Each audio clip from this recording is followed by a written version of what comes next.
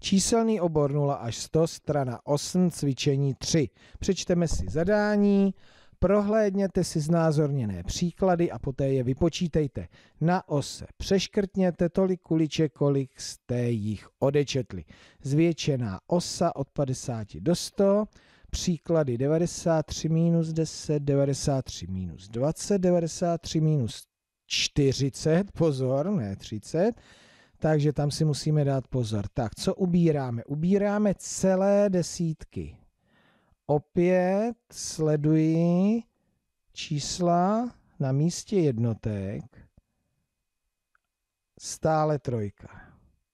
Čili je to tak, my ubíráme celé desítky, čili jednu desítku uberu od devíti desítek, 93 minus 10 rovná se 83. Minus 20. Minus 10. 83.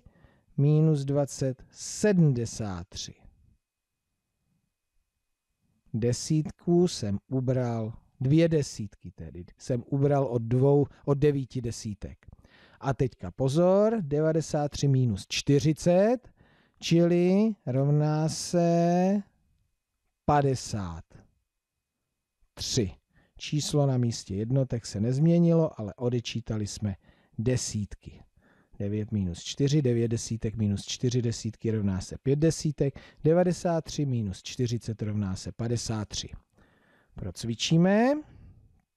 Procvičíme na Pexesu. Takže nejdříve příklady. 69 minus 20.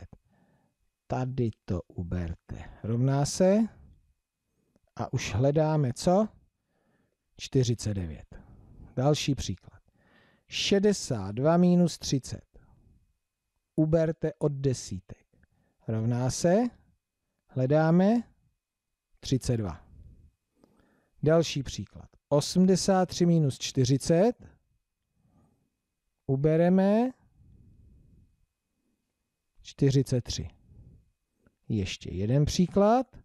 94 minus 50, takhle, rovná se, hledáme 44. No a teď si to stížíme. 35. Jaký příklad dostaneme, když vypočítáme 75 minus 40. Výborně. Tak výsledek, čili rozdíl který menšenec minus menšitel dává rozdíl 71. 81 minus 10. Je to těžké? Tak ještě to zkusíme. 78. Tak, hledáte něco, kdy, když odečtete desítky, tak tam musí být 7. 98 minus 20. Tak a zase se vrátíme k příkladům. 93 minus 70, 23, 76 minus 40,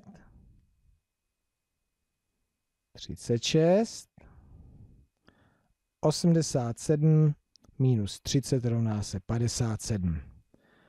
Tak, tady jsme moc nespěchali, protože opravdu si musíme dávat pozor, abychom neodebírali ty desítky od jednotek, ale desítky odečítali od desítek.